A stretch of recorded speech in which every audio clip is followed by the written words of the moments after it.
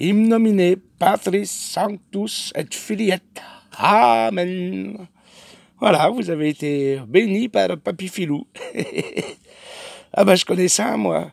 Bah oui parce que j'étais euh, j'étais enfant de cœur, je faisais la, messe en, latin. Ouais, j'ai fait le, catéchisme aussi.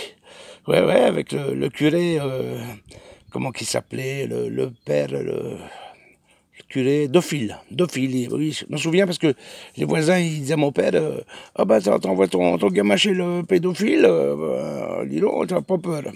Je sais pas pourquoi il disait ça, parce qu'il il était bien gentil, hein, oui, mais moi, il me donnait même des leçons particulières de, de catéchisme.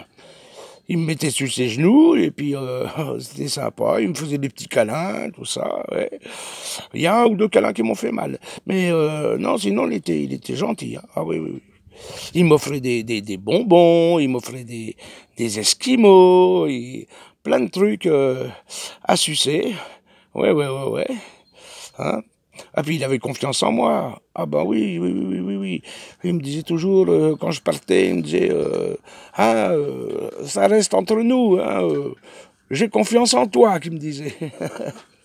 voilà, puis, et puis après, ben, j'ai passé ma, ma première communion.